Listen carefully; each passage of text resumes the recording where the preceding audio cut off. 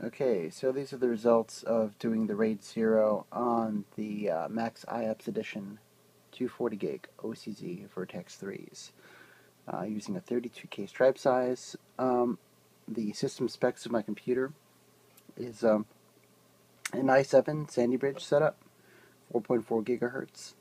Uh, these are running on the native Intel controller, uh, the SATA 3, 6, 6 gigabit.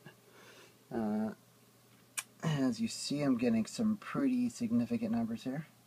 Uh, close to 1,000 megabit a second in uh, AS SSD. Uh, read and write versus uh, uh, pretty much half that, uh, which was I got 508 using a single drive um, on its own. And right now I'm using this as the OS drive, which might have some impact on performance. I couldn't say for sure. But um, getting nearly double that. The uh, Crystal Disk Mark, this is using the random data, which is less compressible. As you see under File, Test Data, it is default, which is random. And so uh, this was the first pass. It's 991 sequential. 5828 right, which is pretty much double the single drive performance. Crystal Disk Mark is getting 490 and 301.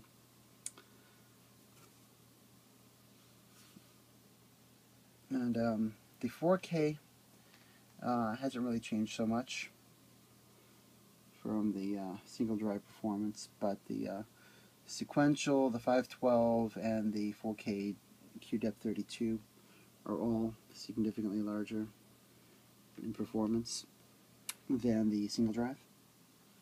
And of course, and here's the one with the uh, set to all zeros, which is more compressible, far more compressible. Test data. Either of these would be the same thing, make no difference. Um, it's highly compressible, 981, 908, 906, versus the uh, 493, 486. So we're looking at pretty, at roughly double the performance there.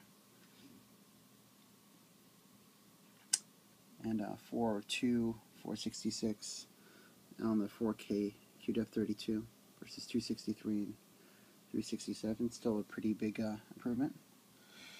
Um, your results will vary depending on the stripe size you use. I do suggest using a slightly smaller stripe size. It boosts up the sequential speed higher. Um, anyway, that's about it. Uh, please like and subscribe to my videos. Thank you.